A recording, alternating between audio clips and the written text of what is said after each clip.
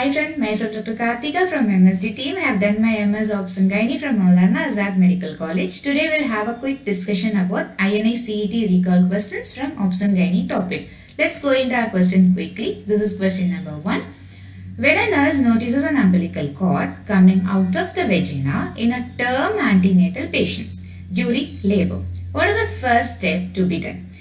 Friends, before you look into the option, read the question twice or thrice and come into diagnosis. Once you have come into the diagnosis, it will be very very easy for you to exclude the negative options one by one. Okay, so now again we'll read the question and we'll come to the diagnosis. So here, she is a term antenatal patient and she is in labor. The nurse notices umbilical cord is coming out. So what is the diagnosis? Exactly, it is an umbilical cord prolapse. Now we'll see the options. Option A, replace the cord inside the vagina. Option B, as a patient to lie in Trendelenburg position. Option C, inform and shift the patient immediately to the delivery room. Option D, wait and watch. So, the key point in this question is, what is the first step you will do? Now, we are not sure whether we will do this A or B or C. But, with our basic MBBS knowledge, we are very sure that when umbilical cord is coming out, we won't wait and watch the patient, right? So, now this is not the option. So, we excluded one option. Now, we are stuck with three options. Let's see what is the first step. So, what is this cord presentation or cord prolapse first? When head is a presenting part, we will say it is a cephalic presentation. Like that, when cord occupies, we call it as cord presentation. When the membranes are intact, it is cord presentation. When the membranes are ruptured, it is called as cord prolapse. So, when a cord is coming out, what we have to do is the next step. The when the cord comes out, it's get exposed to the environment, which is very cool or dry environment. Whatever it is, it will stimulate the cord and it leads to vasospasm, fetal hypoxia and death. So, we have to immediately deliver the patient. Delivery means how we will deliver, either by vaginal delivery or by cesarean section. So, first we have to assess the patient. If it is a cephalic presentation and her cervix is fully dilated and station is also very low, you can go for an assisted vaginal delivery.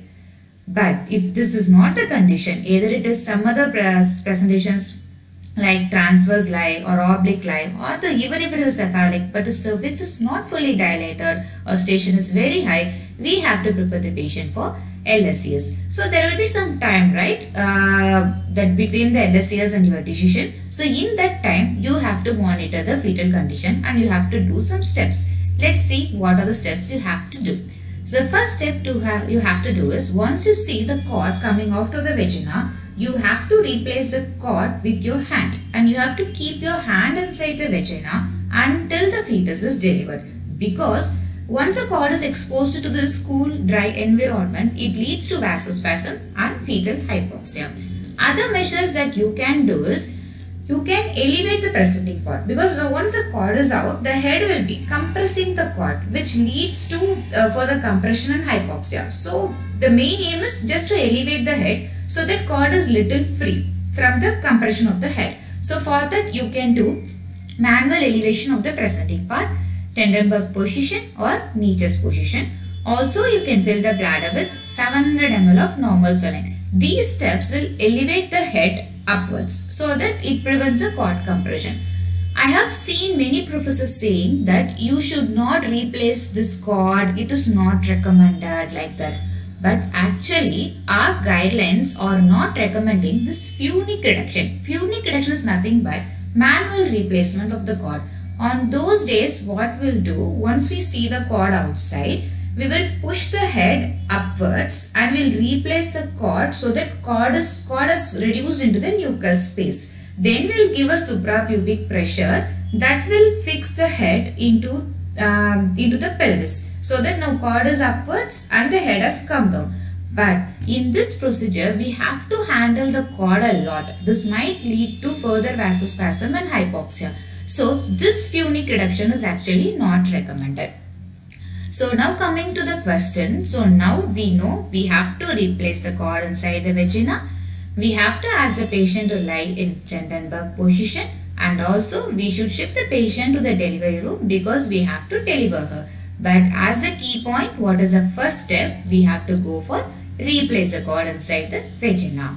Okay friends, let's see what are the other questions you can expect in the future since cord prolapse is a very important topic.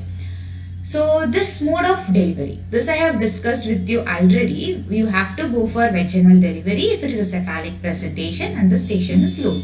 But when the vaginal birth is not imminent, you know we have to go for cesarean section. But the trick in the question is whether you will go for category 1 cesarean section or category 2 cesarean section. Here in this time you have to see the keyword fetal heart rate pattern. If the fetal heart rate pattern is normal, you can go for a category 2 cesarean section.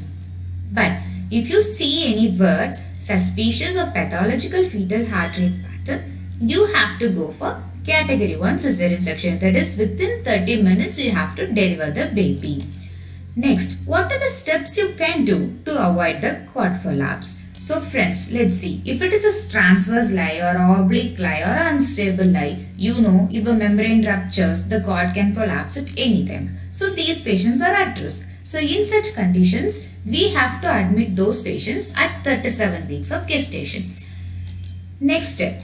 Uh, when this presenting part that is either a cephalic or a breech, if it is very high or it is very mobile, you should not do artificial rupture of membrane. So when you do an artificial rupture of membrane in this condition, due to the pressure that the fluid is coming out, the cord comes out very easily before the head comes and fixed into the pelvis. Third point, when a woman with a non-cephalic presentation, she is presenting to you with a preterm premature rupture of membranes. You should recommend her an inpatient care because cord prolapse can happen at any time, right? Okay friends, let's go into question number 2. This question number 2 I have put regarding sexual violence. The sexual violence topic is nowadays very very important. So you, you can expect uh, questions from this sexual violence topic in your future exams. Let's go into the question.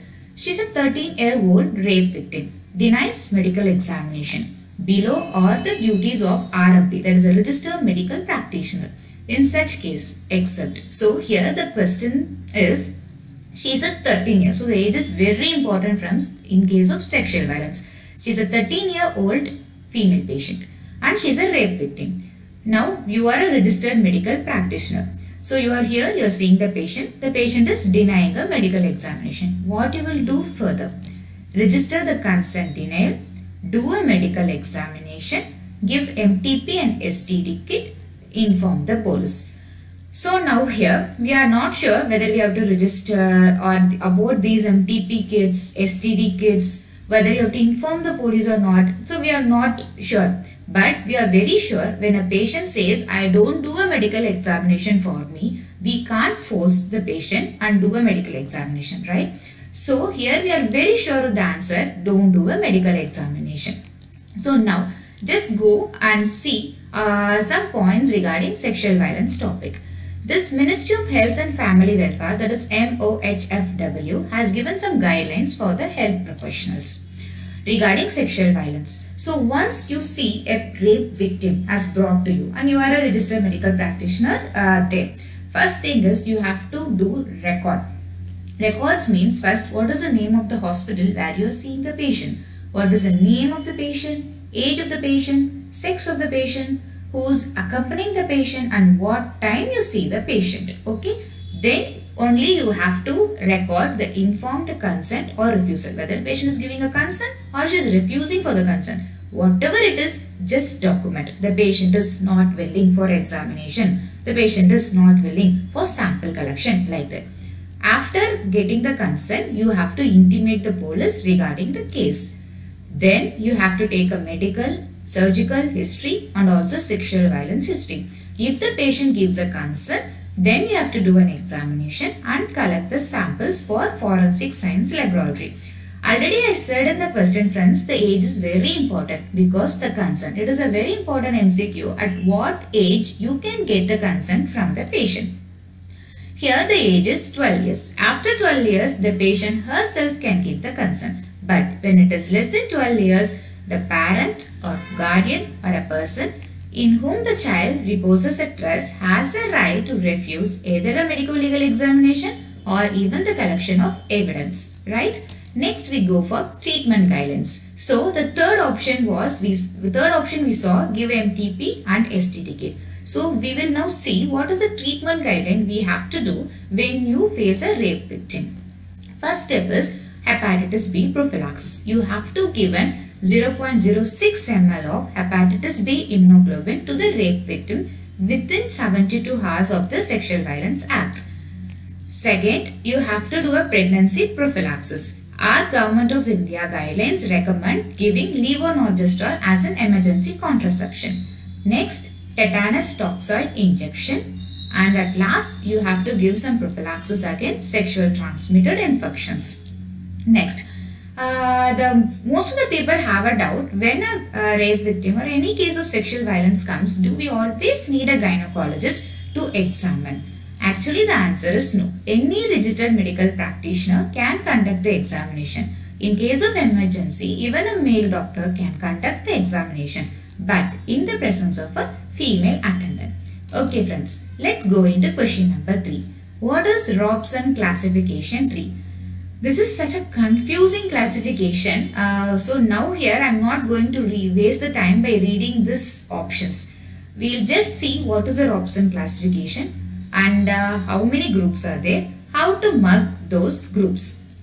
Actually, WHO divided uh, this pregnant woman who are delivering into 10 groups. Group 1 to 10, right? And actually they have done this classification to know which group contribute most to the cesarean section and which group contributes very least to cesarean section.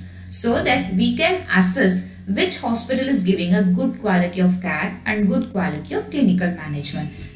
Next, we see about this Robson classification based on which uh, they have classified. Uh, they have classified based on six obstetric variables. Friends, please remember it as pregnancy gone. Three P's and G-O-N. P for parity, second P for previous cesarean section, third P for fetal presentation, G for gestational age, O for onset of labor, N for number of fetuses. So in parity, either it is a nulliparous or multiparous.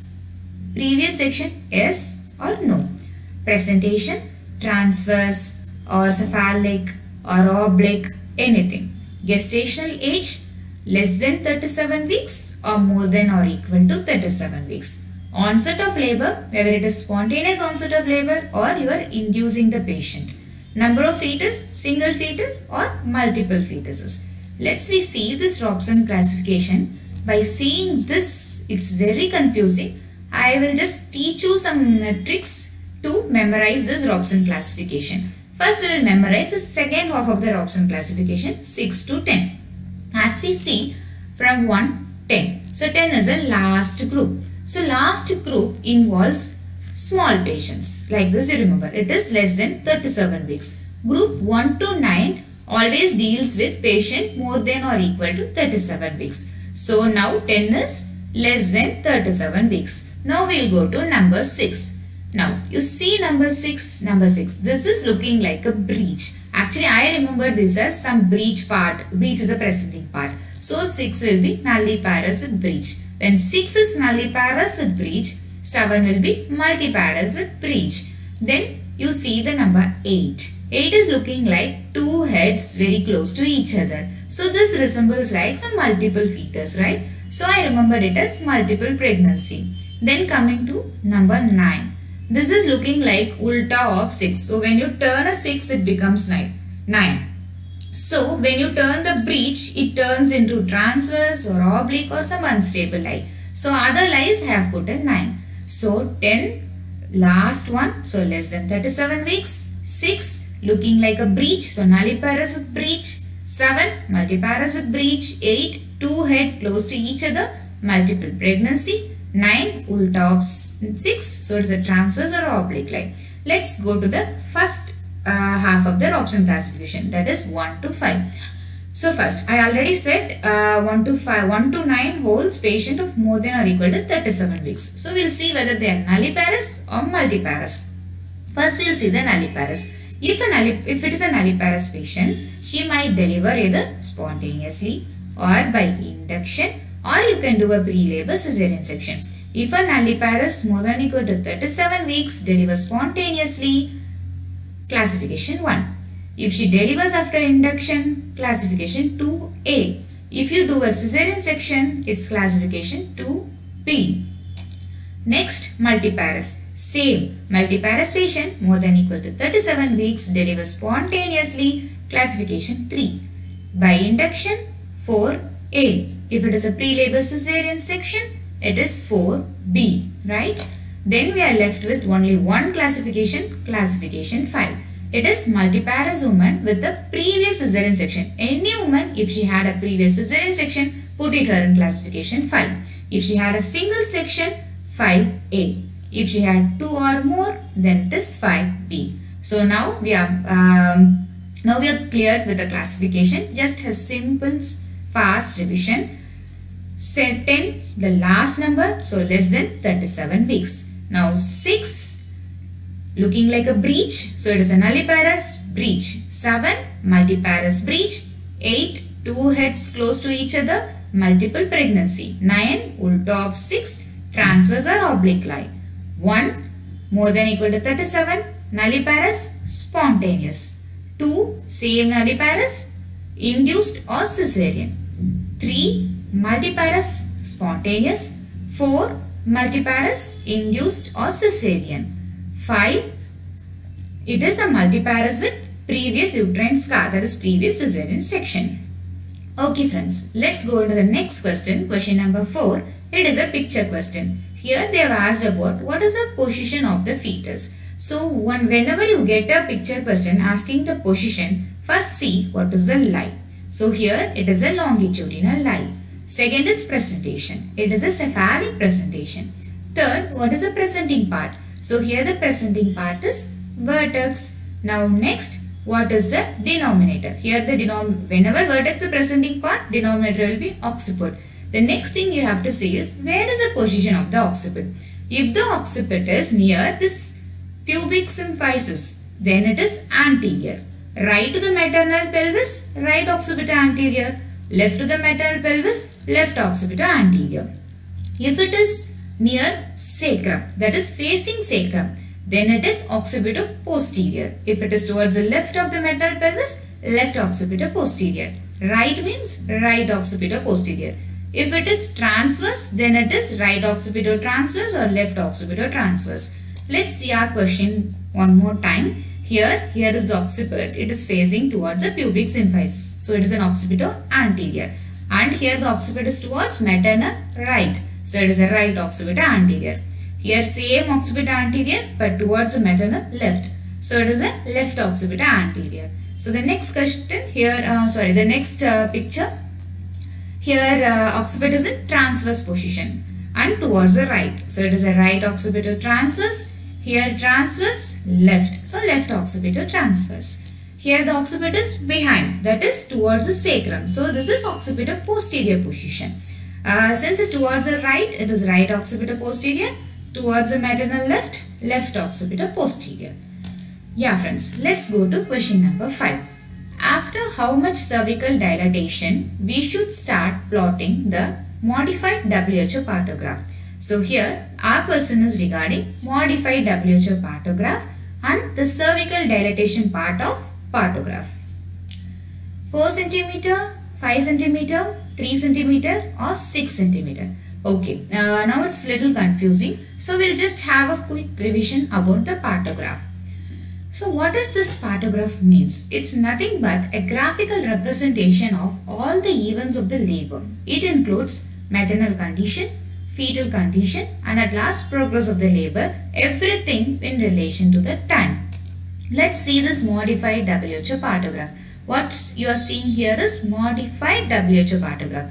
So, the first thing you are seeing here is patient details, her registration number, name, parity, LMP, everything. And the second boxes that you are seeing here is a fetal thing. Here you have to see fetal heart rate, then liquor and molding. Then the third part that you are seeing is progress of the labor record. In this you will put cervical dilatation with symbol X, descent with symbol O. and this is uh, contractions that is uterine contraction and here oxytocin you are giving and the last boxes are maternal record. Let's see this one by one. Before we are seeing it, I just want to tell you this small small small boxes accounts for half an hour. This big boxes accounts for one hour. Okay, let's see one by one. First is fetal heart rate marking. Fetal heart rate will mark with dots. And the questions that you can expect from this fetal heart rate marking is how many times, how frequent. It is half an hourly. And another question will be what then it's okay half an hourly. Then what is the normal fetal heart rate pattern? So the normal baseline is 110 to 160. If it is less than 110, it is fetal bradycardia. If it is more than 160, it is fetal tachycardia.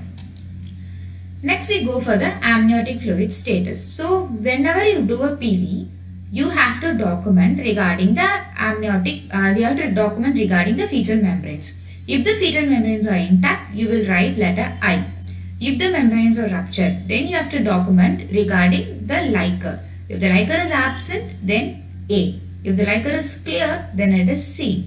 If the liquor is blood stain, then you will write as B. If the liquor is meconium stain, then you will write as M. Next we go for molding. Molding is when you do a PV examination, you can see the suture lines in the fetal head. So when the when you see a suture line, you see the both the bones, example two parietal bones, both are separated and you can feel the sutures very easily. Then it is 0. But the bones are just touching each other. Then it is 1 plus. If the bones like, like this, it's overlapping. But if you give a pressure on the bone, it is separated and you can feel the suture then it is 2 plus. And if the bones are overlapping, even after giving a pressure, you can't separate the bones and you can't feel the suture properly. Then it's severe grading of molding. That is 3 plus. Next we go for cervical dilatation. So our question is on the cervical dilatation, right? Okay, as I already said, these small boxes half an hour, uh, full big box is 1 hour. Here, modified WHO partograph have told to start plotting the partograph at 4 centimeter. This is alert line and 4 hours apart of alert line we have the action line. Here so for cervical dilatation we will mark using X. Every 4 hours we will mark using the uh, symbol X. For descent we will mark using the symbol O. For descent we will use Crichton method that is abdominal palpation method. So when in the abdomen, you have to palpate with your five fingers and you have to see how much head is palpable. If 5 fifth is palpable, you have to mark in 5 at that at a particular time as with a symbol O. Then this is 4 fifth, 3 fifth. If nothing is palpable, then you will mark it as 0 fifth. Next we see uterine contractions. In uterine contractions, you will always see 5 boxes. 5 boxes means number of contractions in 10 minutes. Here you can see only 2 boxes are shaded. It means 2 contractions in 10 minutes. Here you can see 5 boxes are shaded. It means 5 contractions in 10 minutes. Uh, here you can see different types of shadings, right? If you shade with dots like this, then the contraction is lasting only for less than 20 seconds. If you shade it with uh, lines like this, then it is 20 to 40 second. But if you completely shade, then it means contractions lasting for more than 40 seconds. Okay. Then we'll see about maternal record. Maternal record is nothing but always we'll record the blood pressure, pulse rate, temperature and urine output. So the MCQ points will be how frequently you will record these things. Blood pressure every 4 hours. Pulse every 30 minutes. Temperature every 2 hours urine output whenever the patient passes the urine. Okay, so now we come to the question after how much cervical dilatation we should start plotting the modified WHO partograph. So the answer is yeah right it is 4 centimeter. And here you see the word modified WHO. Why they have mentioned this as modified WHO? Because this is the old WHO partograph.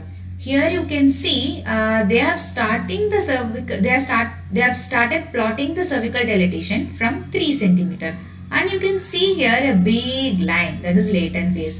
This is old WHO partograph. Our modified WHO partograph have taken this latent phase out from the partograph and they have changed this 3 centimeter to 4 centimeter. Okay. Okay friends. Next, everybody will have a doubt whether we have to do this partograph only for vertex presentation or we can do for other presentations also. Yeah, you can do for all uh, any presentations where vaginal birth can be conducted. Example, if you are uh, trying for a breech, you know we can do a vaginal breech deliveries. But the only uh, thing that will be different is you won't be marking the descent part and also you won't be marking regarding molding. Next also we can conduct, uh, also we can plot this partograph for even face presentations also. Okay friends, let's go to the question number 6. Question number 6 is, which of the following is false about a breech vaginal delivery? Here the question is regarding breech vaginal delivery and please note it is false. Okay, let's see the option one by one and see whether it is a true or false. Option A, continuous fetal heart rate monitoring is done. Yeah friends, now we are dealing with a breech vaginal delivery. It is nothing but a high risk case. Whenever you deal with any high risk patient, you have to do a continuous fetal heart rate monitoring during her labor. So this option is right. Next we go for option B. Done in a hospital where emergency cesarean section is available. Yeah, so whenever you deal with the, again, you are dealing with a high risk case. So whenever, whenever you deal with a high risk case, you have to deliver the patient in a setup where emergency cesarean section, anesthetist, pediatrician, blood transfusion, every facilities is available. So if it is not available in a setup that you are dealing with, then you have to refer the patient to such a setup. So option B is also right. Next we see option C done in a center where birth attendant skilled in breech delivery is available.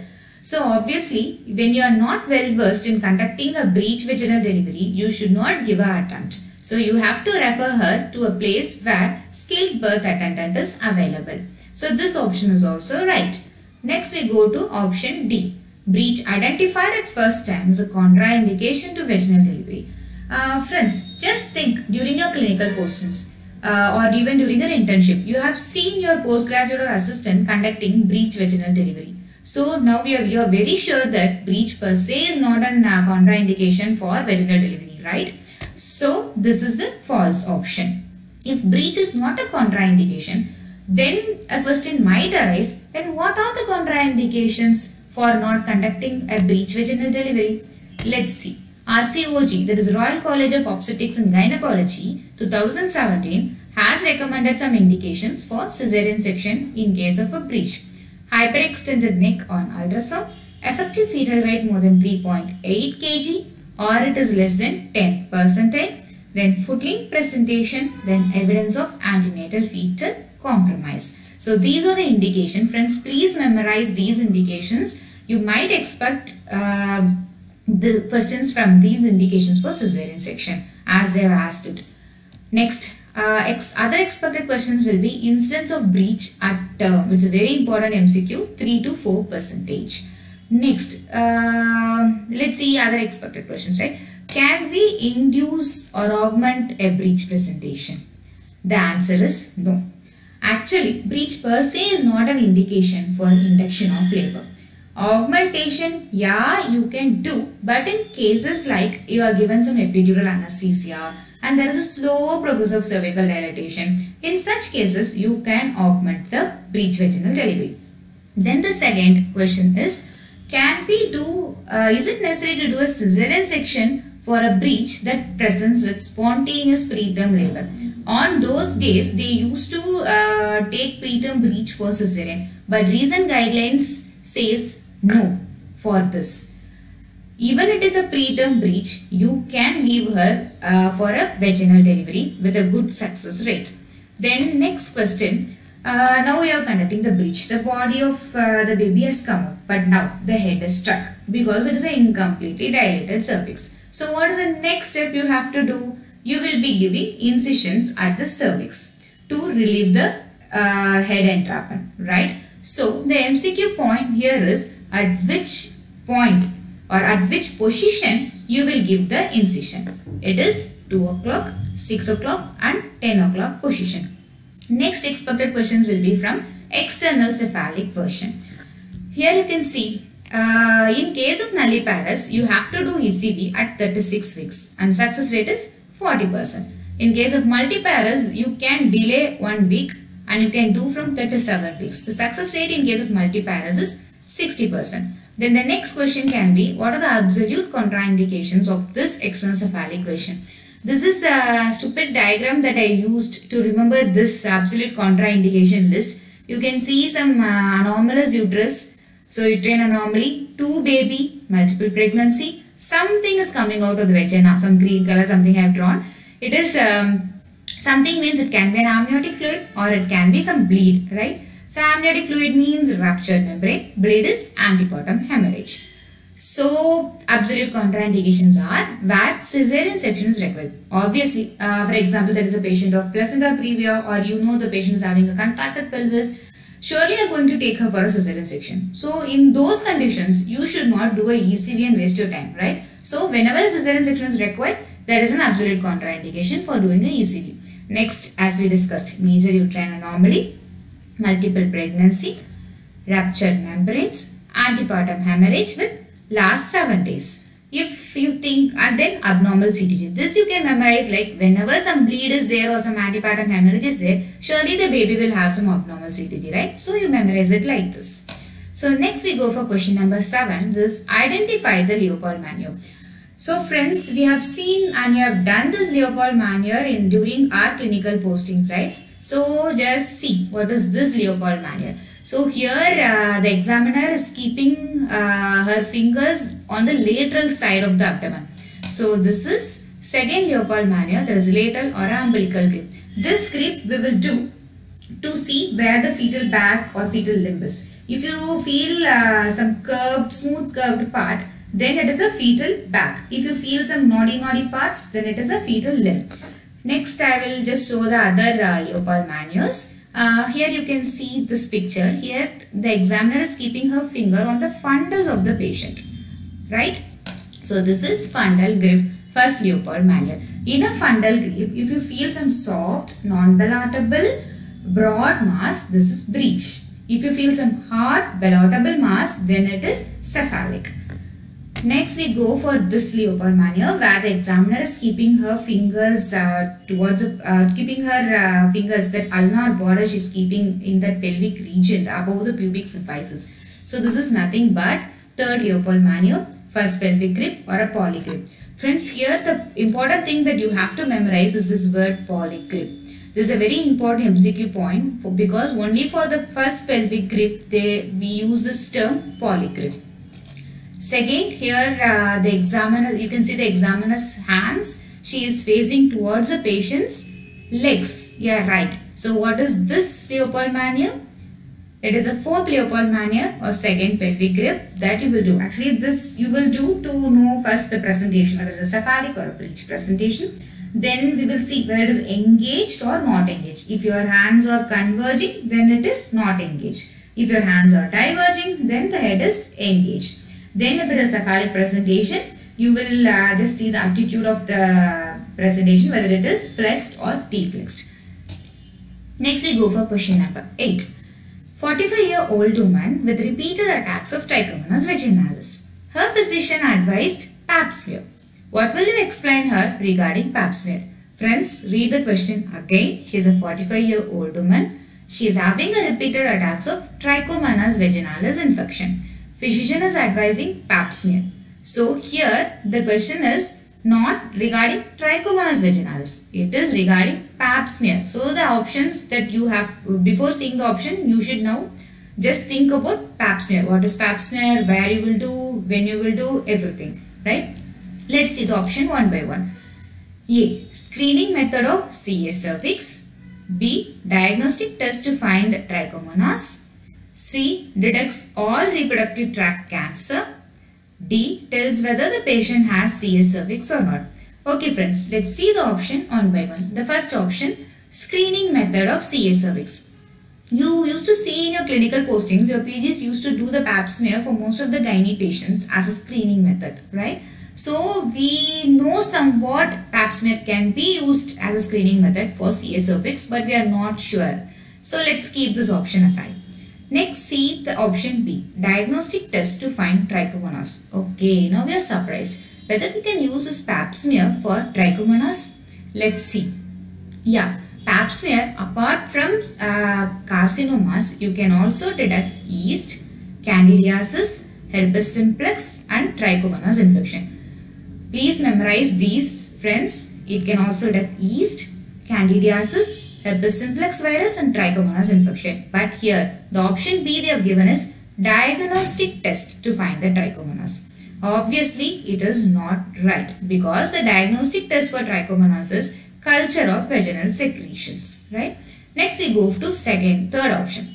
Detects all reproductive tract cancer. Here, if you have some, uh, here some people can fight that yeah, pap smear we can use to detect vaginal intraepithelial cancers, vulval intraepithelial cancers. Yeah, I accept. With pap smear, we can detect cervical carcinoma, vaginal intraepithelial neoplasia and also vulvar carcinoma. But here the option is all reproductive tract cancer. We know that pap smear can't be used to detect this uterine cancers or fallopian tube cancer, right? So this option is also not right. Next we go for D. Tells whether the patient has CA cervix or not. Yeah, people thinks, yeah, surely uh, pap smear tells the patient CA cervix or not. But again read tells whether the patient has CA cervix or not. Patient has means the question is like whether pap smear is diagnostic. Yeah, actually pap smear is a screening test. Using pap smear, we can't say that patient has a carcinoma cervix because it is not a confirmatory test. We should confirm it only by colposcopy guided biopsies. Right? Okay. So, the answer is it is a screening method for CA cervix. Let's see some questions uh, regarding the pap smear. So the expected questions might be, yeah, now you know pap smear is a screening method for CA cervix. Then what other screening methods you might have for a CA cervix? It is liquid based cytology VIA that is visual inspection with acetic acid, HPV, human papilloma virus testing, co-testing which uses both human papilloma virus and cytology then at last colposcopy or colposcopy guided biopsy. So these are the screening methods that we use for detecting cervical carcinoma. Next, uh, we will see some uh, guidelines that is FOGSI. Our Indian guideline is a FOGSI guideline. It has given some uh, for guidelines in 2018 for cervical carcinoma screening. So, we'll see very important MCQ point from that guidelines. First thing is what is the target age group? Actually, these FOGSI guidelines have divided our Indian setup into two. One setup with the good resources and the other setup with the limited resources. Though they have formulated the guidelines uh, for both good resources and limited resources. So first we see the target age group. So in case of a good resources setup, target age group is 25 to 65 years. But in case of a limited resources setup, the target is 30 to 65. Next thing is, what is the age to start? Before seeing age to start, um, actually, FOGSI recommends the use of uh, human papilloma virus testing, cytology, co-testing or visual inspection with acetic acid in case it is a good resource setting. But in a case of limited resource setting, uh, FOGSI recommends to use only VIA that is visual inspection with acetic acid. So let's see uh, age to start. So if you use HPV or cytology alone, we can start it by 25 years. But if you want to uh, test her with a co-testing that is both HPV and cytology at a time, we can start from 30 years. But in case of low resource, we know we will be doing it with VIA, that is visual inspection with acetic acid, that will start from only 30 years. Next, what is a frequency? If we use a co-testing or HPV, we can do it every 5 years. But we use only cytology, we have to repeat it every 3 years. In case of low resource setting, that is or a limited resource setting, we can do it just every 5 years because of this limited resources. Next is when you can stop the screening. Here the age limit and the MCQ point is 65 years. But with a condition, mm, the patient should have a consistent negative report in the last 15 years. Then we'll see the other expected questions. Yeah, now the patient has undergone hysterectomy. So now they might ask like questions like uh, uh, so and so patient she has undergone hysterectomy. Whether you will do a pap smear screening for this patient? Question mark. So what will be your answer? Here you have to see a key point in your question for what indication the patient has undergone hysterectomy. If you have taken the uterus for some benign cause or you are very sure that the patient doesn't have any history of precancerous lesion. Example, she has already done some screening procedures where it is normal. In such cases, no need to do a pap smear, right? And the second question might be, okay, HIV positive or any immunocompromised, what is the difference in the screening? In case of an immunocompromised patient, you have to start uh, screening the patient within one year of initiation of the sexual activity. Next question is very important question friends. This is a newer modalities for screening of cervical carcinoma. Please memorize this P16 Ki67 DNA methylation E6 and E7 mRNA. I repeat again P16 bar Ki67 DNA methylation E6 and E7 mRNA. Okay. Next we go for our last question that is question number 9. A pregnant woman, she had some cramps at night. What will you advise? A. Plantar flexion of the ankle and knee flexion. B. Plantar flexion of the ankle and knee extension. C. Dorsiflexion of the ankle and knee extension. D. Dorsiflexion of the ankle and knee flexion. Okay. This cramps in pregnant woman is very very common friends. You can also get calls from your relatives that I am having cramps what to do these things. In such cases you have to advise to give some hot back massages or you can tell the patient uh, to extend her knee and just dorsiflex her ankle. This will relieve her cramps immediately. Okay friends, thank you so much for giving your valuable time and listening this uh, discussion. Friends, uh, if you have some doubts or if you have any questions, please post it in the comment box. Uh, I'm very happy to give uh, answers and will be available. I'll try to give the answers as soon as possible. And also friends, if you want me to do um, any other presentations in any topic, please let me know. Please post it in the comment box. Thank you so much friends. All the best for your upcoming exams.